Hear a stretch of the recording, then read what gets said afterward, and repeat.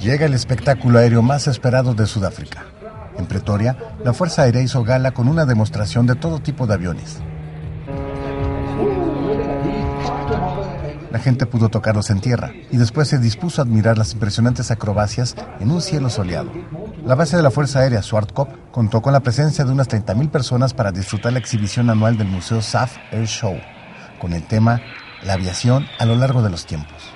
Entre piruetas aéreas, los visitantes pudieron admirar aviones antiguos y modernos y enterarse de la historia de las máquinas que han alzado el vuelo en Sudáfrica y que debe de ser contada. Con información de la oficina en Johannesburgo, Sudáfrica, Noticias Xinhua.